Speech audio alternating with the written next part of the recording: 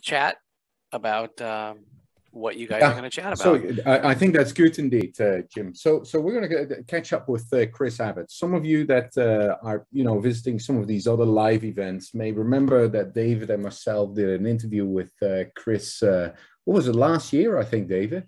World of Commodore, yeah. Yeah, at World of uh, Commodore. I'm starting to mix up all these these events, and that was it was really really cool. So we're very excited to have him back this year. Chris got quite a bit of new stuff on his plate, and uh, you know, knowing Chris, he'll uh, he'll be able to go into quite a bit of detail, and uh, we're going to put him to the test a little bit today as well. And uh, unlike unlike me, I've actually been prepping a couple of questions. Oh. And some of that has got to do with the uh, with the with the book that uh, that this presentation or this interview was named after. Uh, that is uh, available for pre-order and uh, I had a chance to uh, peek a little bit inside of that book already, and it's covering a lot of the arcade era. And I am a big arcade fan, so I've uh, I've definitely got a questions uh, questions lined up for uh, for Chris. Now I see a, I, I see a Chris Abbott window. Do we have Chris here along with your name? I think entirely possible. Oh, there, there we go. Yuri, you have the helm. Okay, excellent. Chris, thanks a lot for making it again. I think it must be about what, uh, 11 in the evening UK time. Yes, yes, I'm, I'm sleepy. Should we be worried and uh, get you some coffee or are you going to be all right? Oh, just don't play any sweet triangle waves. I might, I might go. Good, good. hey, Chris, uh, thanks a lot for making time for us again. Last year at uh, World of Commodore, we uh, we had a great time uh, getting to learn a little bit about the projects that you were working on, things that uh, you've got still up your sleeve. And really what we're going to try and do today, if we're, with your permission, is try and pick it up from there, especially talk a little bit about, uh, about the book that's coming out, which is only a first out of a longer series of books. Um, why don't we give you a few minutes to just a do a quick introduction for those people those few people that don't know you yet uh, have not heard of you, and then maybe uh, talk a little bit about the book as well, and we'll pick it up from there. Um, I'm Chris Abbott. I've been remixing Commodore 64 music since 1994. Um, I produce CDs, live events, concerts, and uh, look after uh, some of the composers as well. Um, this I've, I've changed direction slightly to widen outside the SID in the last uh, year or two since the pandemic hit. And here we are. Um, okay, so well, the the uh, slightly outside is the understatement of the year, I'd say, uh, given the given the book series that you're working on. Uh, so so tell us a little bit about what what what you were set out to do and what that has now become. Well, during the the first lockdown in in May 2000, um, I was going through my hard disk and I came across some um, some starts to remixes of arcade tunes. Uh, Outrun um, was the the main one, and uh, I thought, hmm, okay, I've uh, that was 1997. I'd done those, so I thought, yeah, I, I, can improve on these. And before I knew it, I'd actually produced um, uh, had some great fun remixing Sega tunes for um, uh, a remix album called Arcade Classics Volume 1, which is on Spotify now. Uh, so that's Outrun, Afterburner, Power Drift, um, bit of the Space Harrier music. And uh, during that time, I got to know the um, original soundtracks um, from not only that, but some of the Konami stuff, and got interested in um, what they were doing, what chips were in there, and um, then I was talking to in a chat about that sort of thing to my collaborator Andrew Lagan, and uh, suddenly I made a joke about uh, oh we should write the little book of sound chips, because there'd been a little book of Spectrum games, and of course there's above that there's the little book of Calm, which is which is a um, there's all sorts of little books, and um, and then suddenly we realised well actually uh, we could actually do that, and that would be quite interesting. Um, part of part of it also was in uh, the tail end of Project Hubbard, mm. where uh, obviously Rob Hubbard worked mostly on the SID, but he did a lot of work on the Mega Drive, and he did a lot of work on the Tan. Well, not a lot of work, but he did some work on the Tandy that had the the three voice chip, uh, and um, also got into Roland MT32 and uh, Sound Blaster OPL 3, and um, so in sort of collating all that together, um, it gave me a feel for well, there's um, a much bigger world outside of SID, especially also listening to listening to some of the Nintendo stuff, the NES stuff, um, because the, uh, the and the stuff that used that fairly unique chip, and also that what what puzzled me was why you why UK composers and European composers hadn't particularly made any splash in Japan and vice versa, except for very obvious uh, differences like um, uh, Yuzo uh, who did Streets of Rage and uh, and uh, Koji Kondo, of course, and right. um, and uh, the the uh, very few Japanese composers came one way, and very few European composers went the other. And I wanted to know why. And there's actually a, a reasonably good article about it in volume two. But it comes down to the fact of the way people entered the industry and what they were taught and what the expectations were. So in the UK, you could just turn up at a turn up at a software house with a demo disc, and uh, and the, the CEO will go, yeah, okay, here's 50 quid, go away and do something. In Japan, you had to come through university and formal have formal qualifications as a rule. And so the uh, everyone came to it with kind of like a music theory classical background, which meant that quite often you got things which were not pushing the boundaries technically um, until later on some uh, some composers did like like Yuzo. Um, and Tim Follin was the main crossover mm-hmm. because uh, he he he's uh, like a legendary god on the NES. Even though they, they're kind of annoyed that he, he doesn't like his own chip music or chips in general. he's legendarily snotty about his um, about his own accomplishments and how much he hated doing the tunes. Right. He liked us slightly more, but I, I have a great respect for the NES sound chip. It did a, a lot of things quirkily and a couple of things that hadn't been done before, like um, like PCM samples straight on the chip. Right. So, um, so your little respect. book, your little book of sound chips didn't stay little, did it? it? It's little because it's 15 centimeters by 15 centimeters. Um, in inches, I think that makes it about uh, six or seven inches right. each way. Yep. So that's around the size of a seven inch, slightly smaller than a seven inch single. How, how many pages was uh, is volume one now? Um, it's 324. 324 volume, pages. Yeah, vo- volume two has Sid and Amiga in it, so that jumped up to like 420 pages. Oh my goodness! But the thing is, it's it's not it's not like 420 pages of text. If, if I took all of the write-ups for the chips, which tend to be between one and four pages, then you would have um, a fairly chunky, fairly dense one volume 300 page book. Right. Um, but what uh, the most, um, it, it, uh, I wrote it that way originally, in fact. And then when, when I gave the manuscript to people to look through, um, they couldn't be bothered because it, they were like 300 pages and then it's like, you know, dense text. Yeah. It's not that dense. It's, it's pretty, it's pretty accessibly written right. because it's, it's written it, it's not from an academic point of view. It's written to tell stories, to tell right. stories about about um, how the chip was developed technically, any business interest or composer interest, or how people use the chip. Or uh, most of the chips, there, there was a different story to tell. Some of them were weird chips that had been put in home organs that suddenly appeared in arcade machines. Right. Um, to good effect in a couple of a couple of them. Uh, some were doomed chips that were only used by like one person. Um, some were chips which took over the world. Some chips had a success and then ended up in gambling machines for the rest of their lives. Right. Um, some chips um, ended up needing support chips, like um, the, the, the Yamaha chips that started off the YM2151 in Marble Madness. Um, people realized fairly early on it was pretty rubbish at drums.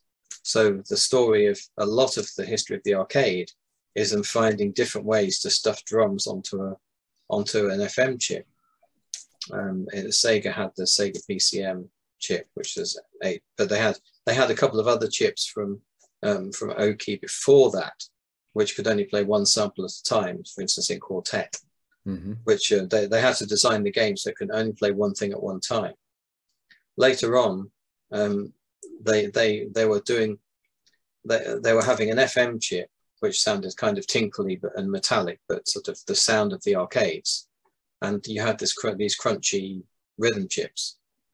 Eventually, they realized that they didn't need the FM chips, but you got some wonderful chips somewhere around the late 80s, mid to late 80s, that combined um, samples, uh, chip tune for uh, SSG, PSG, you know, square waves, sort of, thing, etc., and um, FM.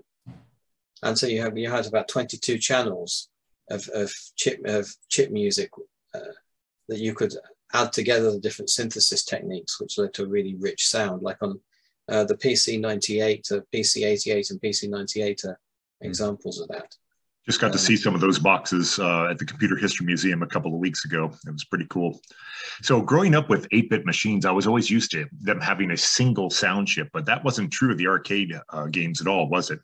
No, no, it's it's very quite rare later on. Um, they, they the arcade machine started off with discrete bits of circuitry, one for each sound, like in Space Invaders, uh, where the the only actual sound chip was to do the UFO sound, which was the SN76477 for those of you paying attention, which was a, a kind of a very weird monophonic semi-analog, semi-digital chip mm-hmm. that was very difficult to get any music from, but very easy to make squeaky sounds out of. Um, as with most of this stuff, uh, someone later built a synthesizer out of the, the chip. Um, it was also in a fair few children's toys, I think, back in the time, back in the day. Um, being a Texas Instruments chip, it was kind of, it was developed in conjunction with Taito for Space Invaders, with, with Space Invaders in mind, but it was sold off the shelf as a wholesale part. Um, so if you if you look at this, uh, if you if you kind of go through this book and and the first book covers a specific first era of this, mm-hmm. and you look at all the chips that you've um, that you come across there, if you would look back in time, of which of these chips do you feel like was heavily underutilized for its capabilities it was offering versus which chips were really like maxed out? They were just didn't have anything there. In other words uh, were were the composers that would work with these uh, either lazy and not or, or, or time bound or were some of them just really maxing out what what was available made available to them um, hardly anyone was maxing out anything, but the most criminally underused chip was probably the AY38910 family, which started off and was built.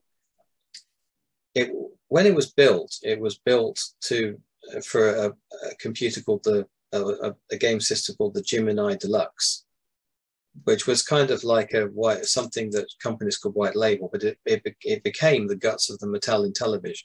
Okay. And that's where most people heard it first. Um, but that same chip was also in the MSX standard, the ZX Spectrum 128 and plus two, I think plus two. But anyway, the, Z, the, the ZX, the Amstrad CPC, the Oric. And it wasn't until maybe 1987 or 1988 that people on the Spectrum and Amstrad started making the most of it using techniques they picked up from the, the composers on the Commodore 64. So Rob Hubbard would do something, uh, or Martin Galway would do something, and then other people would pick that up and take that to the the the, the Spectrum chip. Right. Um, so, but before then, when, even when it was used in the arcades, um, it was used in a fairly simple way. Um, like, for instance, Gyruss uh, didn't use particularly sophisticated sounds at all, but it had eight of the chips. Right. So it was kind of like absolutely nuts polyphony. Um, um, and um, all driven by uh, um, Z80. Oh, and that was the- the other. Th- that was the other thing. The the the um, arcade machines tended to have a separate audio chip, a, so- a, a, a sound chip, and an audio CPU to avoid stressing the main CPU out. Hmm. That became very very common, and that was the the Z80 was the um, audio CPU of choice for many years after it stopped being the main CPU in the machine. This this whole topic area, this feels like you're filling a topic gap that I didn't know existed in books, which is kind of cool because once I heard that, I was like, oh, I need to have that. I never knew that I needed that. Who who are your target audiences? Do you think for these uh, these chip books? Um, anyone who's ever listened to arcade machines or home computer thing, uh, computers, and wondered It's- how it it was spans at done. least- It spans at least, but it doesn't span two decades, does it? That range of chips, or Um, well, it, does- the book covers 1977 to 2004, okay, so it's the best part of well, 30. Um, it's uh, I can't do 27 math. years. Yeah. 20, 27 years, I Right. think. And it stops. It stops uh, just after the Xbox. Well, it doesn't. It, there's a, there's a 2004 chip from Yamaha that was interesting, not because it was particularly good, but because it illustrated how difficult it was for manufacturers to find new stuff to do with the chip to justify selling it to manufacturers.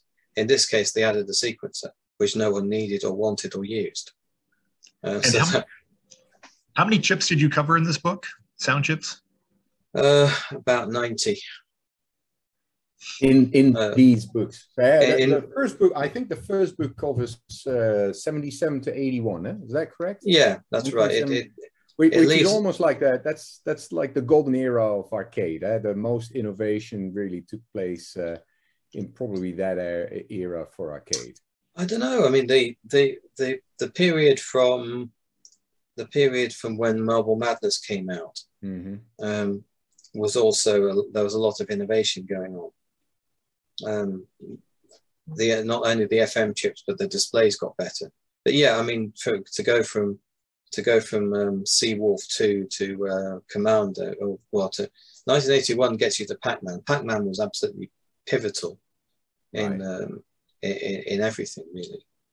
Um, they, they, it was the first time there'd been a chip that could do wavetable synthesis. So it sounded like absolutely nothing else that had ever been heard by human ears.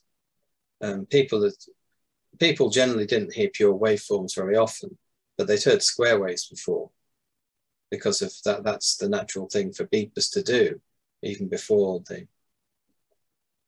How do you feel about? Um, obviously, if you look at like an arcade experience, uh, typically these machines would be uh, set up with multiples, sound maybe overridden by other machines next to it. Sound, uh, especially in the beginning, didn't seem to play that much role in an attraction as it did later.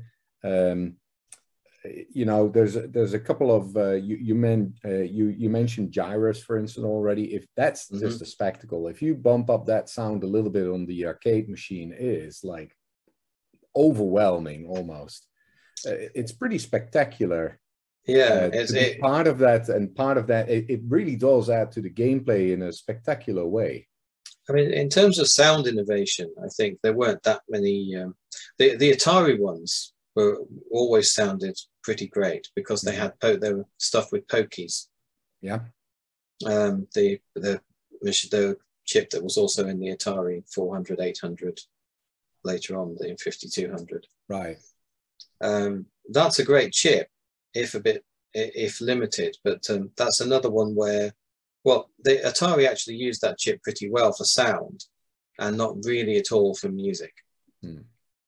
Uh, something like Tron, which used one. Yeah. Um, um, most of the weirdness from that came from the echoing and and um, uh, Wendy Carlos's soundtrack, which was inherently weird by itself but uh, they did a Atari did a lot of work, and they're one of the first uh, first companies to hire a sa- uh, um, a sound man, a proper sound man, which who was Earl C. Vickers, who uh, uh, gave us some reason, uh, some good material and feedback for the book, allowed us to correct a couple of errors. Um, so he came, but he came in a little bit after, I think 1982, but before that, he was working at Midway. So he had some, uh, he, he had um, a career stretching quite far back. He was the he was the nearest thing that the computer industry had to a, um, a pioneer for sound. Now, in your sound books, um, I poked around in the drafts a little bit, and um, boy, they look crowdsourced, but they're not. They're you sourced. I, I, know it just looks like an incredible number of people had to work on this. I mean, you you generated all new screenshots from scratch. You um, for every sound chip, you show all kinds of games that uh, the sound chip appeared in. You've taken the time to write some comment about the sound for every single game, and you did this for uh, over a thousand games, I think. Yes, uh, well, it's, it's, a lot. No, it's more than that now. It's uh, each each volume has between 300 and 400 games. So yeah. I, I, think I think the, the entire thing was 1700 games that I had to think of something to say about that was that actually meant something. Although a lot of the time um, it's quite zen because sure. the, the, I, I kept the comments very short because yeah. I thought uh, what what I want is for people to have an idea about what to think, but no one's got the patience to read 1700 densely argued pages of reviews because the, the whole idea of the, the book was you have these um, detailed technical bits and then you have some nice beautiful pictures to kind of let your brain relax and some nice easy to read easy to read comments that uh, might be humorous or might be thoughtful or might be factual. Like for it, it, changes. So it's not the same kind of comment. Some of the arcade machines, it tells you which chips did what in the machine, which is an interesting thing to me. I want to know where the drums came from, where the melody came from, whether there was some crossover, whether there was a, the slap bass, what the slap bass was. But on some of the games, like the in on the Xbox, um, you're commenting more on the musical content or how it suited the game or whether the whether the compo whether you whether you know the composer and had a difficult time or uh, thing or whether uh, a particular Halo started the craze for choirs in music in, in video game music I'm, I'm convinced of that. After Halo everything was choirs as far as the eye could see. Yeah. Um, so you you've also made all of these games interactive. Is that something you want to uh, tip your hand on right now or do you want to leave that as a surprise for the readers on how you did that no, no, that's uh, that's fine. Um, it, the, after the first draft of the book, I showed it to six people, and all six said, "I really want to hear these these sound chips now. This music. You've whetted my appetite." And um, we thought about it. Saying, "Okay, well, what about QR codes?" And um, we were like arguing for a, a, about a couple of hours about whether QR codes would mess up the the design because the design was quite um, uh, quite neat and relaxing and yet vibrant. I didn't do the design, so I can say these praises about it. There's a friend of mine called Ian Flory who did a great job on the template, which I could then fill up. Um, and so we, we put the we put the QR codes in, and um, it didn't look too bad. And the payoff was that you could have YouTube video. You could you could be sitting on the toilet, and this was Martin Galway who said this is a toilet book. You, you take this you take this book into the toilet and sit on the toilet and keep scanning QR codes to listen to chip music. Um, I, I, I think I think it's a really interesting way to make the book interesting and and interactive as well. I think I'm going to make back on something you mentioned previously when you were designing this book and kind of getting some feedback on this. What has become very clear is you're trying to you're trying to appease multiple audiences. There's a lot of little tidbits about individual games in there that are just a fun tidbit about the game. And mm-hmm. what it does, and what I noticed just going through this um, uh, uh um, book one, is just oh, I want to, I want to kind of re-experience this now, and I want to kind of compare them as well. I uh, somehow I get drawn to comparing titles as well now and it, it's yeah. really interesting how these pictures combined with some of these music clips really draw you back to a certain period of time in your life where you're re-experiencing not just the game but the entire like era it operated in. Very very interesting. Uh, I think that that was um, definitely the plan. The, the plan is that people would have a whole new appreciation for the variety of sounds that were produced in the arcades and you know in home computers. They, they would suddenly appreciate why the, the SCC chip in MSXs sounds so good right. and why. and how did that affect sound in the PC engine, which was a kind of knockoff copy of the chip? And how did that affect? Uh, how, how, did that affect Nintendo cartridges? Um, but also, um, um, it was important that people who didn't actually, who weren't actually that interested in the technical bits about the chip, still had a lot of nice pictures to look at and a lot of it, things to experience. And equally, it was important to make the technical stuff rock solid, which, um, uh, thanks to uh, partially to David and uh, Nate, uh, um, it, it, was, and uh, uh, some other people who have asked not for credit, but they know who they are. yeah, I, I, think I think it's a, a, an interesting point to mention as well because you could you could you could even go to the to the to the the end the, the ending of the book almost where it goes way deep, way geeky, way technical, and you could kind of get all absorbed into that and and kind of approach the same topic from a very different spectrum as well, which is I, I think you're um, exposing people perhaps to maybe think about music and and the way that was generated for these machines in a way that they never even thought of you know? They never thought of like okay so that's really what went on inside of this machine to get this music out because for all they knew you know it may have been all the same especially the arcades. A lot of it uh, was uh, custom made you know? There were only a few mm. titles created with one pcb and then a completely new uh, design was created which is fascinating if you think about it.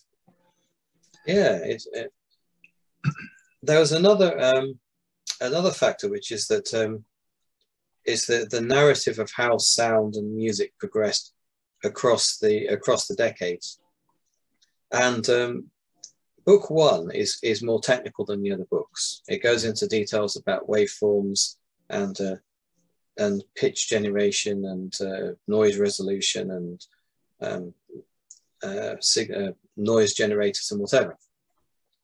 And that's partially because the concentrate, the, the interest in the early chips isn't what the music that was produced, which has a nostalgic value, um, but isn't necessarily something you could listen to forever. But then you start to get chips like the SID and and uh, the YM2151 as they and the second volume doesn't have to go into as much detail technically. And by the third volume, you're dealing with combinations of technology that you don't have to explain. So you're saying, if we've got this technology plus this technology plus this technology in that chip, and here's why that's interesting. And here's some games which use that really well. Right. And by the fourth, you've basically got people in the studios producing tracks. Um, and the way they're played back is pretty irrelevant. So you've got the same soundtrack appearing on the GameCube, the Xbox, and the PlayStation 2. It's the same audio track. Right. At which point you've you've gone solidly from technical to artistic. Uh, uh. But it's the, the the the journey is both smooth and bumpy, because you can you can tell that the bumps in the road when when FM hit, when wavetable hit, and then when encoding became powerful, uh, powerful enough that you could stuff entire um, just red red book was the big thing. Red yeah. book and then and then the encoding that a memory became cheap enough so that you could just stuff um, full full audio tracks into games uh, whatever. Yeah. I know when i've shown my son some um, graphics from early games like atari 2600 um, it's a foreign concept to him that you have to sort of use your imagination to figure out what the graphics are supposed to represent. I mean, I just naturally interpret it in the same way some of this really early music, the technical music, as you called it, you used your imagination to fill those things in. And that's something I don't think modern gamers appreciate either. It was a it was a different time. Yeah, that went on quite a long time, I think. um, at least to the mid 80s, at which point things started to get more suggestive when people started using samples. You know, it, it was a trumpet. It's a bad trumpet, but it's a trumpet. Um, and from then on, uh, using the abstract waveforms was an artistic choice uh, that that uh, games did. Otherwise, uh, within the technical limitations of the, the FM chip, the Yamaha FM chip took over the entire world for the generation of music because it had a lot of voices. They didn't take any CPU time, and it was a reasonably programmable set of chips. Um, so it was cheap and it was easy, and it generated more no noises than previously. Um, it's, it's kind of like the artificial grape flavored candy, right? Everybody knows it's grape, but it tastes nothing like a grape. You just have to be told that at an early age, and then you know. but, I think that's I think that's right. Yeah, I mean, sorry, bad some, analogy, some, perhaps. no, no, it's perfectly perfectly valid. So um, you did a gigantic survey. I mean, you surveyed like almost all of chip music. That is a huge undertaking. I don't know if anybody else has ever really done that before. Um, that's got to help out for future efforts down the road as well. I would imagine you don't have to tell us what your projects are that are on the back burner. You always have something cooking, but um, that really does seem to position you to branch out into all kinds of directions. Because my gosh, what a huge job to survey that many chip tunes on all platforms. Um, the, yeah, the it was. Although, although um, a lot of the tunes were chosen by my collaborator Andrew, who hmm. was much more familiar with the uh, much more familiar with a lot of the sound chips than I was. Uh, for instance, he knew uh, the Sam Coupe. He was a big SNES fan, and I'd never had a SNES, so I didn't know where the gems were. Um, and quite a lot of the console uh, uh things, I relied on him to know which were actually the good tunes. Although when, when I needed some more, I, I would go off and look at what was considered classic by the community because yeah. um, I, I, really didn't want to impose my own personal tastes on this. If, if, something is a classic, but I don't like it, it's still a classic. Well, and you're you're touching a really good subject because the, the book reads um, reads like that. It reads um, uh, from an independent point of view, but obviously um, we want to hear a little bit about your your view on this. Uh, you know that doesn't end up in the book, but we'd like to obviously uh, get a little bit of insight in uh, which are some of uh, Chris's favorites or not so favorites. So I've I've got a couple of questions on you that may uh, that may give us some insight in that. And again, the -oh. book tries to cover a lot more on the uh, what did the playing field look like but we're going to maybe get a little bit of an insight on what uh, what Chris would have been uh, choosing. So if you allow us, uh, I'm going to try and throw a few at you. So let's let's start. What is what is the most terrible game with great music that you've come across? Um, on the Commodore 64, which is where, where my heart mostly lies, um, I hesitate to say uh, Gerry the Germ, but I could never play that game. And the, but the music is one of my favorites and one of Rob Hubbard's favorites, even if it's not necessarily regarded as a classic by the scene. Right. Um, there were any number of uh, any number of terrible arcade games that were just, um, but which had great music. Um, I'm struggling to think of many, to be honest. Um, they, they, the arcade games were usually unplayable, um, or were just so bland as to be like, ah. Right. But then I was never a player, so I was never, I, I was never really a player. Hmm. That, that um, well, that makes sense. And the, how about how about sound effects? Because what is interesting, if you read through the first book, a lot of games actually didn't have much music. They had a lot of sound effects, but it was typically not a lot going on when it came to music. No, that's right. Um, it, it I, that gets mentioned in the book. Um, for instance, when the, the sound effects are being put on a separate chip or some separate mm. channels or something. Um, in general, when there's music, I would try and comment on the music unless the chip involved was only doing sound effects. Right. Um, so I had something to say about the sound effects. That means the, the same game can appear twice, but with a different write-up. Right. For instance, um, if you talk about Outrun, you can talk about the music on the YM2151 chip and Yeah. the screeches and general other sound effects, applause and stuff on for the Sega PCM chip. hmm Um, as you say, in, in early days, there, uh, the music tended to be restricted to jingles. So you um, so you have to comment on like atmosphere or the technology or what they did. Um, and sometimes you you you so few games actually use the chip well that you'll reduce the, that even the notable games are pretty terrible. In which case you just have to say so. But I've Right. tried not to. I've tried not to make the book a downer. There's no point putting things in just to slag them off. Oh no, I, I I agree. I agree. Sure. Um, But- but but but- if you've got if you've got the chip that only had four games released on it and they were all terrible, you you have no choice really, do you? Right. But I assume you got some earworm stuck in your head more than once working on this, uh, like Pooyan arcade game music or something, right? Um, Fantastic game, by the way. Terrible Oh. music. Terrible. The That's- game that is is- so cool.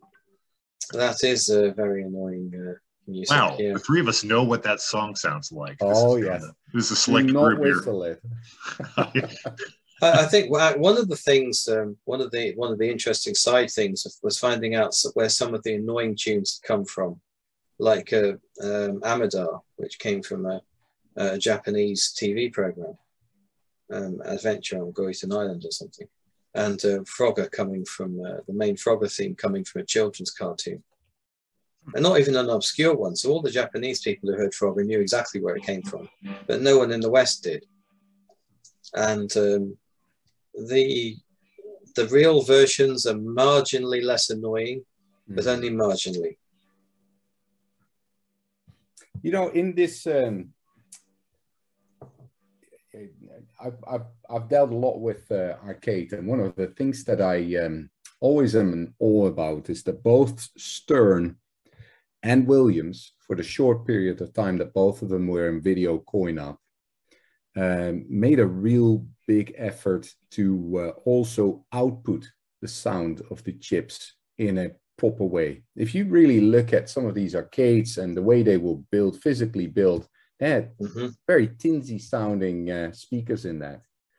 Not by Stern, not by uh, Williams. They had big fat speakers in them, really rich sound, and they really made the most out of uh, the sound that came out of the chips that were installed. It's always fascinated me that it really was those two sta- as standouts in the uh, early uh, coin-up days. Yeah, I, I gotta I gotta second that on the Williams games. They had those unique um, fat, rich sound Right. effects. The the um, Defender, the Robotrons, those all Oh those my kinds of things. Yeah, You that, that's shake it. childhood sound effects right there.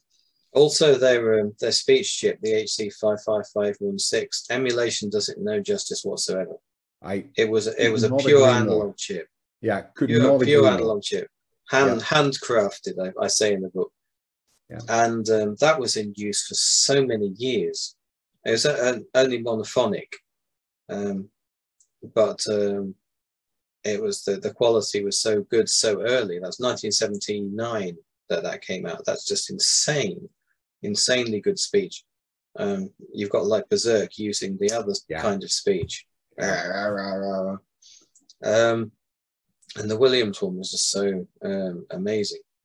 But uh, you know, uh, I, Space Invaders. When I looked at, I had to look at the the cabinet schematics at some point, and I noticed they put the bass speaker that did the dum dum dum dum right next Yeah. to the player's groin, which I if you know, I, I wondered if they did that on purpose just to get more coins. Space Invaders go boof, boof, boof, right, right on your genitals, especially when you're young. Yeah. I don't know why I'm excited, but I'm excited. yes it's it's it's amazing now a lot of these um a lot of these games basically you know due to um, the arcade were you know then recoded for uh, for other platforms uh, ported to other platforms Mhm. um in your book, you touch on several of them. Where, where, where do you feel that um, some of the uh, ports that were made of, of the music, not of the game, but of the music, were actually more successful than they were on the original, and, and why? The FM chips that we used in the mid 80s arcade games, um, Atari programmed them really well. Mm-hmm. Atari did, did some great stuff with them.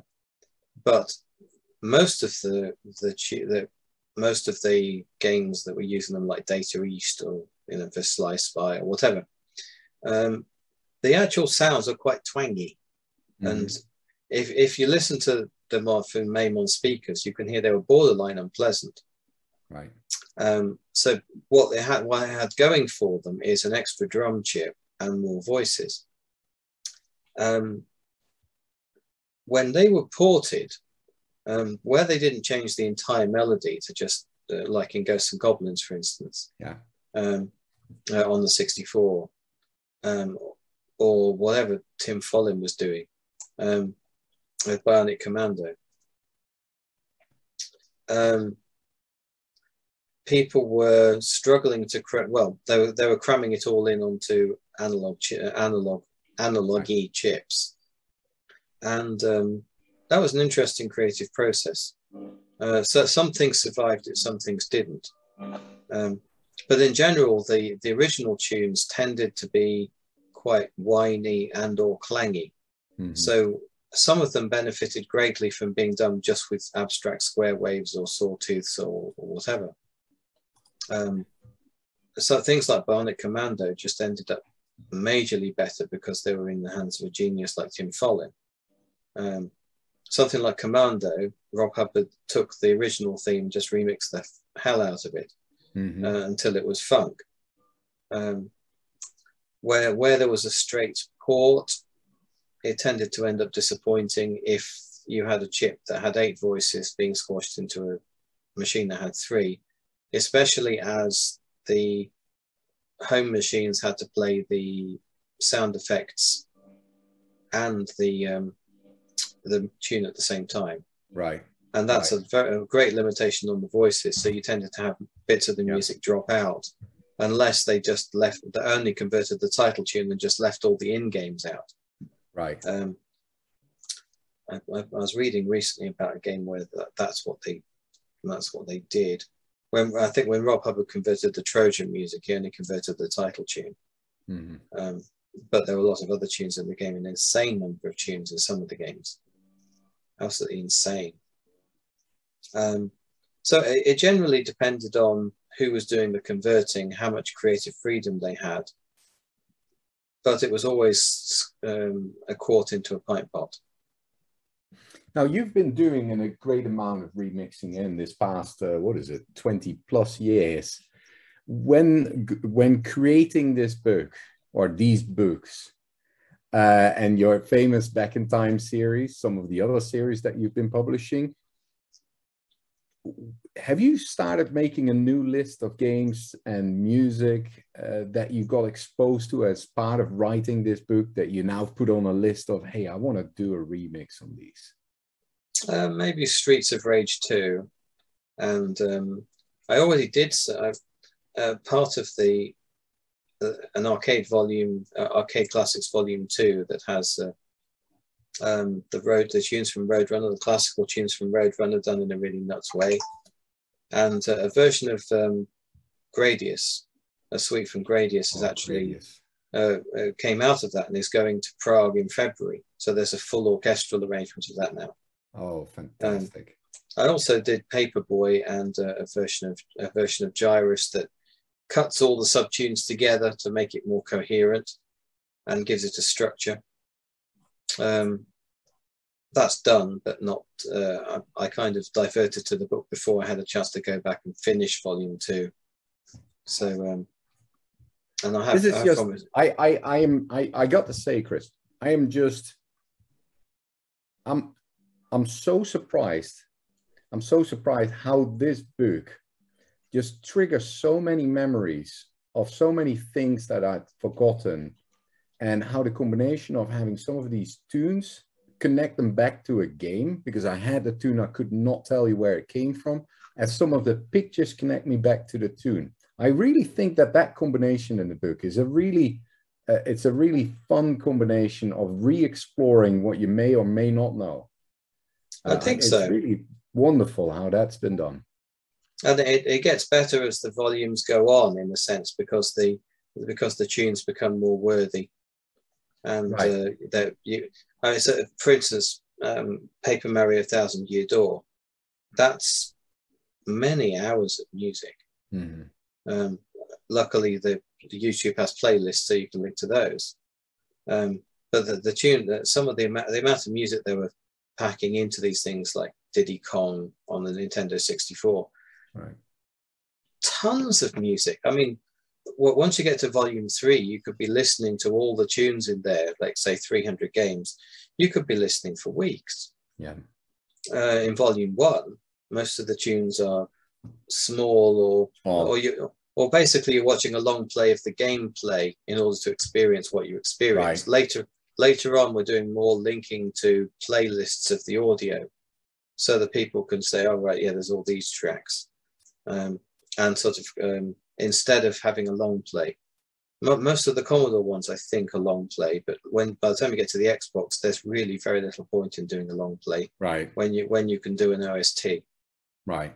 But I, I do feel I, I do feel uh, book one is going to be available soon. Eh? I think, it, or is it It's available now? How about you? It's available from my website and PDF.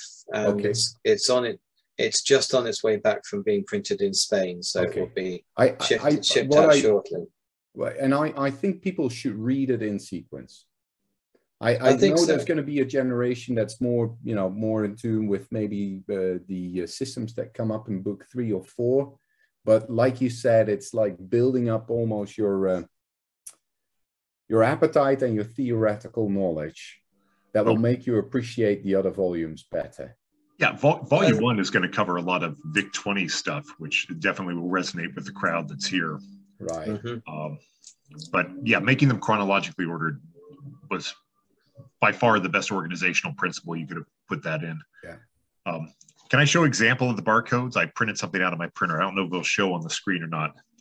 So this is just a picture of a typical page. You have a, you know, a game there. You have description. You got a barcode. You have another game, another barcode, and quite literally, you just click your phone and listen as you go through the book. That is I know he said this already, but it's very cool. And it's for me, it was the right balance of nostalgia and discovering new things as well, which is um, which is always fun. Uh, and for the PDF, um, the the QR codes are also proper hyperlinks, so you don't even have to scan with your phone. Ooh. You Yeah, can just click on sense. click on the click on the QR code and go to it. It goes straight there. Um, but yeah, it's there, there, there is a, a combination of famous stuff, good stuff, and obscure stuff. I, I think And- that's really cool. Can I uh, can we do a couple more to kind of see and test uh, your knowledge of the 50 million uh, tunes and sound effects that you've heard right now and kind of set some games off against each other? Just you know to demonstrate how much time you've been spending in this and uh, how far you took this topic. I think uh, let me let me try something. Dig Dug or uh, Rock and Roll? Um, well, rock and roll has better music. The, I, The music with. Dig Dug, the, the thing I found interesting about Dig Dug was the music stops when you stop moving. Right. And that's that's because of the limitations of the sound chip. They couldn't do sound effects and music. Now that I would have never guessed. So that was not a design; it was a technical limitation. Well, no, it was a design, but it was designed around a limitation. They they didn't want to have. genius. That's interesting. Um, That is genius. it's it's very strange. It's it's kind of like using the it, the music steps forward as you do. It's um a very interesting. I've never seen that replicated anywhere else, apart from some of the weird, more weird musical games like say Master of the Lamps. Oh, that was an interesting game as well. Very interesting sound uh, use in that game. That definitely was hypnotic. A classic, yeah, Yeah. classic. So, um, um, and I'm stumped him yet. focusing on book one, people, because book one is going to be available. So I'm focusing on on book one. Again, we- we got we got more time. We got more events coming up. We'll see if we can lure you back on stage uh, for the other books. Uh, Scramble, the the the bubble sound. How does that sound? I remember that in a certain way. Remember how that, that bubble sound sounds like the weirdest sound that they created in Scramble because it Probably, yeah. actually sounds like bubbles, but I I could never figure out how they got to it. Well, they did, did some decent work there, but it's only a square wave with a pitch modification. Uh, so, eh, but they, they obviously put the time in there. Yeah, yeah, it would. Yeah, I remember that as a true standout of how realistic that sounded. Um, I um, can, tell us something about Captain Blood if you can. That had a ripoff of uh, Jean-Michel Jarre's uh, music. Zoo, yeah, Zoolookologie, I think it was. Yeah. The, the interesting thing there was it wasn't the straight Zoolookologie. It was a, a bit, someone had chopped up Zoolookologie, Yeah, remixed all the bits together, and then put it in the Amiga and ST game, which was fine. But then someone tried to do a SID of that and for, for and an AY of that for the Amstrad and Spectrum. And it came out sounding absolutely nothing like Zoolookologie at all, even though Jean Michel was still credited as the composer. I found that well when I first heard it, I was like, I was uh, racking my brains because I know Zoolook reasonably well, and I was racking my brains. Said, where on earth is this from? So it had been chopped up so much that when you abstracted it from the sounds he'd used, it sounded unrecognizable, and didn't get reviewed well as well. People were like, "What's this?" the um, hey, hey, David, you just chip in whenever, eh? but uh, the um, the Atari golden era on the same platform for sound. Gauntlet, Paperboy, 720, ABP. There's probably four or five titles I'm missing here. Which one do you believe? Uh, which one do you believe had the best implementation of uh, sound in uh, in that in that particular PCB range?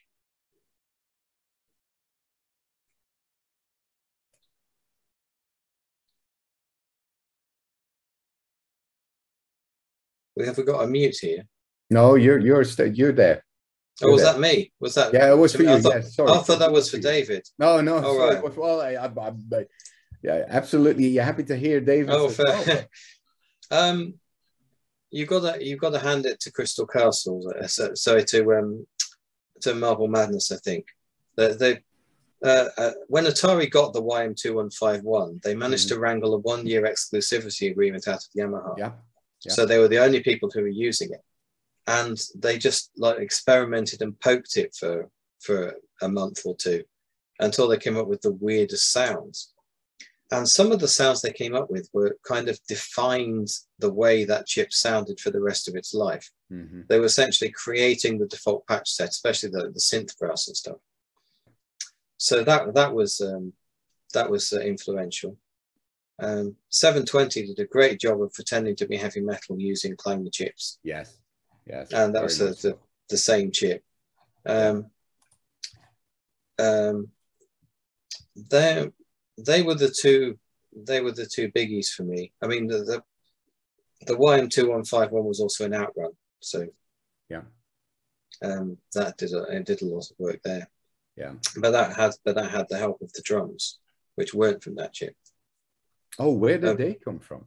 Uh, Sega PCM chip as well. So that was a separate chip there. Yeah, there, there was the Sega PCM, which did the audience noise, the screeches, and the um, the drums.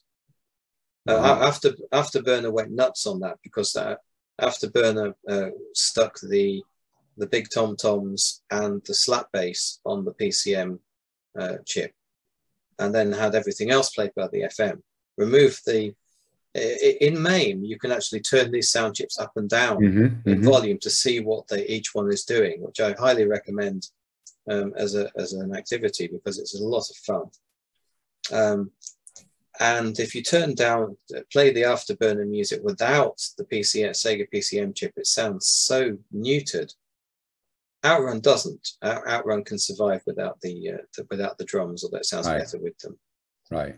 Um, That's got such catchy tunes as well. I think I think that one just from a musical composition is uh, people are just attracted to that uh, still today.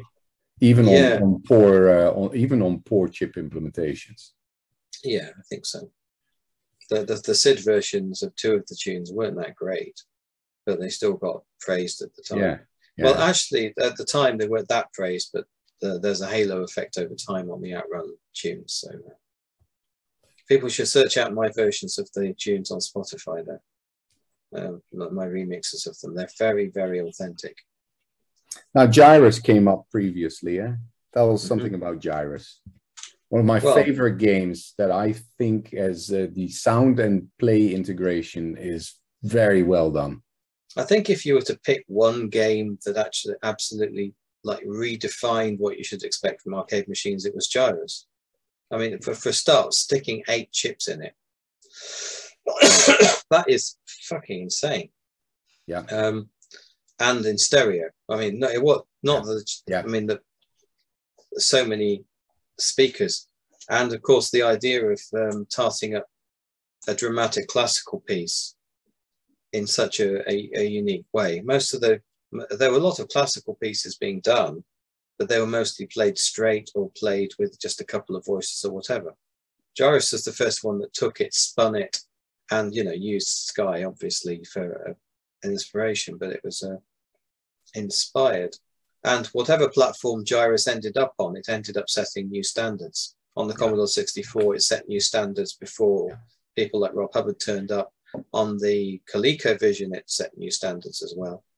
Chris, why do you think that was the case? Because that is one of the few games that truly did that across all por- uh, uh, ported platforms. Um, I think it's just the combina- magical combination of the music and um, the arrangement, really, and the fact that it would the arrangement was sufficiently clever that you could cut it down and you still didn't lose any of the spirit of the tune. Mm, mm. I mean, they, for instance, um, uh, the, the C64 version added the drums. I think Right. I'm not entirely sure that the arcade machine had drums. Or you could take the drums away for the ColecoVision or the 2600 and you'd still have a decent Right. stab at it. Plus, whoever was doing the, the porting did a usually did a pretty good job. They, they Right. must they must have only had the responsibility, and the music was a large part of the game. Right. So I I written down here, Batman the movie. Which one had the best sound? Which platform? Um, they had they all had very different soundtracks, which was Right. Yeah, they were like really different. They got like, Um, it I- seems like everybody got to do whatever they wanted. I think the the the, the NES Batman, I mean the Game Boy Batman is highly regarded. Uh, um, even though that's a lot funkier than the movie. Um, the C64 one is regarded as a bit of a classic, and the NES one is regarded as a classic. I, I think um, it's generally wherever it showed up, it actually made an impression. Yeah. Not as much as Gyruss, obviously, but Right. there was a there, there, it, pretty fine jobs were done across the board um, with completely different composers and completely different results. So, what is the status of the book or books? Is it Um, is it is it just ready to print or the where are we at? PDF, the PDFs are all of the PDFs are ready to print, but um, uh, there's a fundraising process that gets them to be printed, and the first one is coming back from that process in the next week or two. Um, Okay. At which point, it, it, it, the pre-orders will start getting sent out, and then we can dust off Volume Two with the SID and the Amiga and uh, the YM2151, and um, then start fundraising to send that to the printers, etc. Sure. Now, you may have uh, answered this when Yuri asked earlier. I can't remember, but how do people find uh, Volume One? Where do they go? Um, there is a link in uh, they they Fusion Retro Books for the hardback and C64audio.com for the, the PDF. Okay. There, Yeah, there's so a plan. fusionretrobooks.com for for Um, I, I I'm not sure. I've, I've put a link into into yeah, it's my, a dot um, com. Yeah, fusionretrobooks.com. It's on the Discord as well, and we'll make sure that uh, we get that repeated as well. But if you just search for uh, search for the Little Book of Sound Chips, I'm sure it'll come up on Google because no one else has done one. The nice thing is when you've got all four volumes, you can put a slipcase on them and call them Little Cube of Sound Chips. Uh, you better uh, eat some uh, oatmeal uh, the next uh, few months because you're going to need uh, a little bit of power to lift that thing up. While it may be uh, little, it is actually quite the volume. well, at least I finished it because now I'm now I've moved on to uh, finishing off the book about Rob Hubbard, which is um, uh, it, it's different again because that's uh, looking in depth at a particular person and but mostly the music, and uh, that's a different a different research different research type entirely. Right, right. So I think we have a hard end in about three minutes. Is there any questions you wish we would have asked you so you could show off more? No, I think I've showed off already Probably. Okay. You, you could you could ask me if I'm interested in hiring any uh, world class London orchestras in, in the near future. Uh, So I ahead should say, well, I'm planning that. I'm planning that, but uh, they're very very very slow getting back to us. But that's something that we may get to enjoy at some point in time. I'm absolutely sure of it. That is awesome. Chris, i- you know, it is. Uh, oh, I have one more question. I can't let you go without that one. Berserk or Wizard of Wor? Wizard of Wor. Tell us Um, why. There's a lot more speech, and the music is better. The music drives you nuts, though, doesn't it? Well, at least there's some. but it's it's just it's just um it's just really creepy, It is and that wor- that that works in the the yeah, and is. um and it's a sassy game. I like sassy games. Yeah. I mean, Berserk was sassy. Okay, coins in pocket, whatever. But Wizard of Wor brought insulting the player to a, a whole new level until then Gorf took it to. I'm, I'm surprised Gorf doesn't have a little arm that sticks out and sticks up to a finger at you. right. It was Oh, Chris, uh, the book as as uh, as it stands right now, you know, it's just awesome. For those people, you know, you. go click that link, check it out. It is a visual spectacle. There's all kinds of fun uh, trivia in there. It's uh, whether you like music or a technical person, or you just want to get some some funny one-liners on things.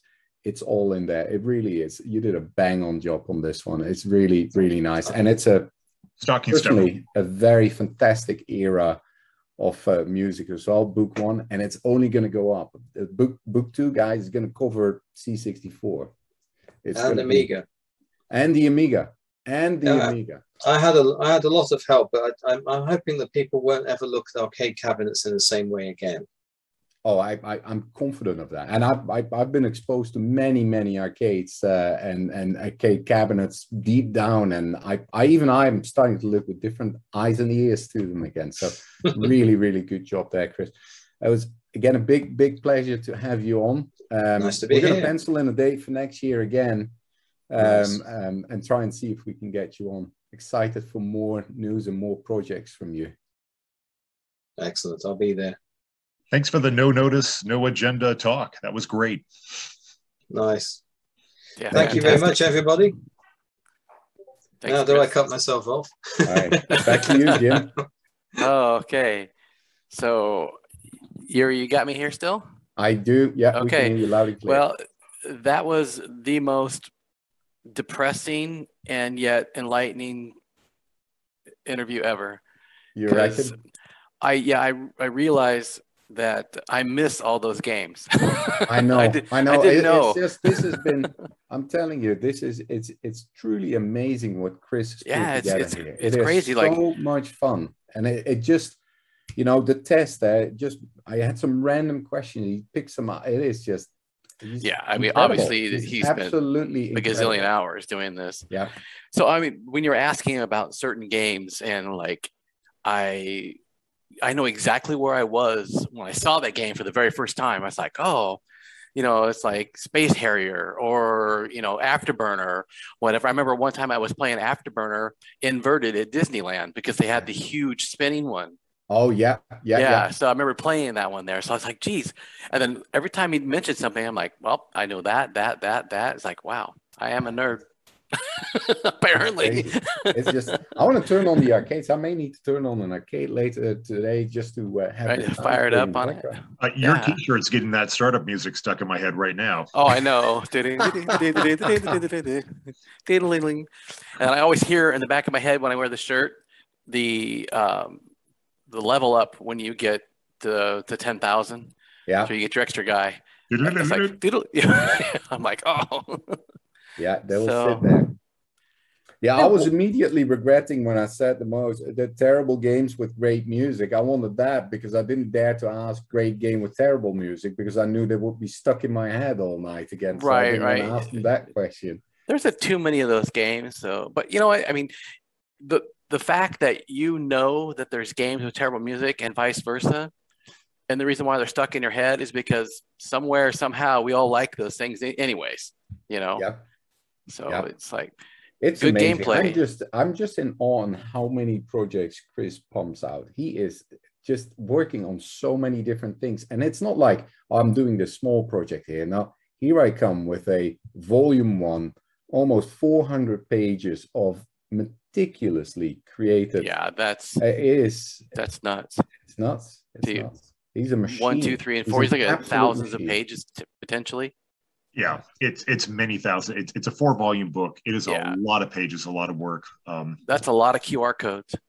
yeah, he's got Yeah. this little reality distortion field that that sucks people in to help him out with these impossible That- projects. very much They- so. I know. I know you and and uh, and Dr. Knapp uh, spent time on it. Nate, Nate did countless hours, I mean, that's where I got hours of proofreading as well. This marionette, this three-headed dragon that came from Prague. When I flied out there to watch him record symphony of Right. keyboard Yeah. tunes, I mean, Yeah. who does this? Um, Yeah. Abbott And then the little tidbit that we got out of that as well, David, on what he's working on right now with the London Orchestra. yeah, London Symphony Orchestra. That's a big deal. Um, now that when would be that how together. cool would that be? And he's already made the first contacts with. I remember he was on Radio Four. He was on the BBC uh, BBC telly as well. He's Yeah. gonna. It is now is the time. There's so many people, and I, I I'm truly hoping that some of the uh, some of the classics that out of the books, you know, maybe great candidates for a re- remix as well. This is it's just awesome. This is awesome. Yeah. Well, I'd like to thank both of you because this was a filler at last minute, literally. And uh, what a filler it was. I mean, Well, you, you know, the funny thing is, uh, a, a month and a half ago, uh, David and I spoke about this, and I said I would love, I would love to get Chris on again. And at that moment in time, I didn't realize that last time we spoke to him was actually on the Canadian event. And and David said, World "Listen, Commodore. I got Yeah, I got a lot of projects going on right now." I said, "But still, you know." And David, I got to give it to you, man. A, you've got all your projects that you've been trying to finish off. Then yesterday, your voice went, or the day before yesterday, your voice went totally down. Oh yeah, I trashed And, my you, voice. and despite that, you didn't want to have me see all tear up. And then Chris, who was gracious enough to step in immediately. I don't think it took 10 minutes for him to respond and say, Oh, sure, I'm up for this. It was just, this was Yeah, he answered every question. I was about ready to say, you know, how do you open the jewel encrusted egg in Zork One or something, just to hear him not be able to answer a question. But he yeah, can there was no answer that uh, like to uh, take some nothing. exactly. yeah. Absolutely awesome. All right. Well, Well- guys, I, Yuri, if you'll hand back the controls to me so I can uh, Yeah. go to Um, Slay Radio. The next the, uh, presentation is going to be um, Rodolfo. It's going to Okay. show us how to do a Pi Amiga, and that's going to be at 4:30.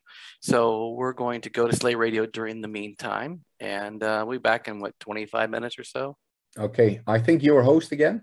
Uh, yes, I am. Thank you. Okay. Fantastic. All right, guys. Well, it's been a pleasure. Thank you very much. That was awesome.